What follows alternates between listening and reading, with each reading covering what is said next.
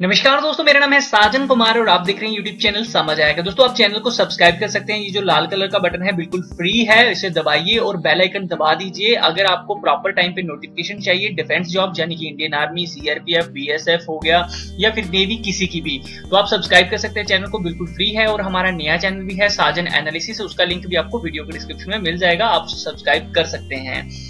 दोस्तों, आंध्र प्रदेश स्टेट आपको बता दू, ये भर्ती है, जिसके अंदर ईस्ट गोदवारी, कृष्णा और श्रीकुलम विशाखापट्टनम विजारनगरम और वेस्ट गोदवारी।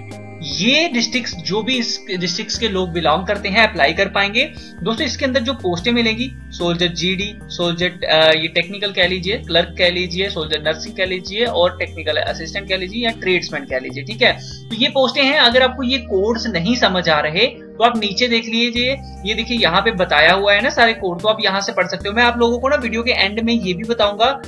एंड में क्या बताना है? दोस्तों डिस्क्रिप्शन में मैंने वीडियो दी है कि मेरे को इस भर्ती का कैसे पता चला, आखिर मैं यहाँ पे कैसे पहुँचा। डिस्क्रिप्शन में मैंने एक वीडियो दी है, जिस वीडियो में आप ये चीज़ सीख सकते हो तो उस वीडियो को ज़रूर देखना।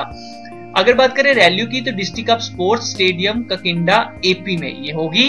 दोस्तों एप्लीकेशन स्टार्ट हो रही है इक्कीस पाँच दो हज़ार अठारह से खत्म हो जाएगी बीस छह दो हज़ार अठारह से, ठीक है? अब जिन लोगों को, और हाँ एक चीज़ और रैली जो ग्राउंड होगी, वो छह सात दो हज़ार अठारह से स्टार्ट हो जाएगी तो यानी कि छह सात दो हज़ार अठारह के कोई सात आठ दिन पहले आप एडमिट कार्ड डाउनलोड कर लीजिएगा।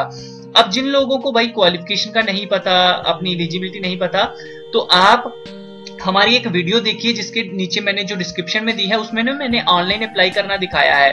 दोस्तों, आपको लोगों को इसके लिए एक रजिस्ट्रेशन करनी होती है। रजिस्ट्रेशन के दौरान जो जो चीज़ें आपको पूछता है, बस आपने वो बताते जानी है। तो ये अपने आप ही आपकी क्वालिफिकेशन आपकी एज आपकी हाइट के हिसाब से आपको पोस्ट जो है इंडियन आर्मी की वेबसाइट बता देती है। तो बस आप वो दो वीडियो देख लो। एक वो जिसमें आपको यहाँ पहुँचना है कि ये चेक करने के लिए, और दूसरी वो जिसमें आप ऑनलाइन अप्लाई करना सीखेंगे। बाकी मैंने कुछ बुक्स का भी लिंक दे दिया है। अगर आपको अच्छी लगे तो आप लेना चाहें तो ज़रूर ले सकते हैं।